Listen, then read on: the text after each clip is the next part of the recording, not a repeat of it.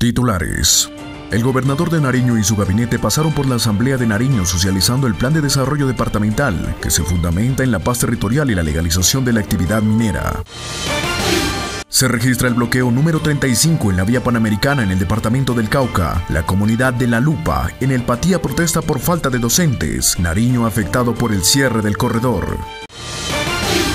El concejal involucrado en un siniestro vial durante la celebración del Día de la Madre dio la cara y habló sobre su caso.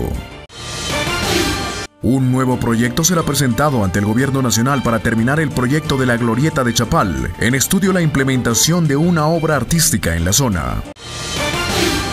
Varias toneladas de ayudas humanitarias fueron entregadas por las autoridades departamentales en la costa pacífica y la subregión del Sanquianga. Amenazas, maltratos y hostigamientos recibieron funcionarios del Pacto Cultural por la Vida y la Paz en Tumaco. Tres puntos críticos presenta el departamento en Vías del Norte de Nariño por las afectaciones que deja la primera temporada de lluvias.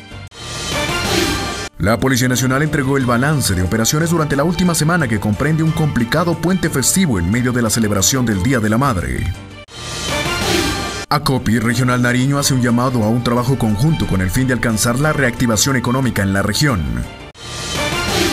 La Dirección Administrativa de Gestión del Riesgo de Desastres consolidó el censo de afectaciones en los municipios de Nariño. Alerta en Pasto por presencia de enfermedades respiratorias. La ESE Pasto Salud hace un llamado a la autoprotección.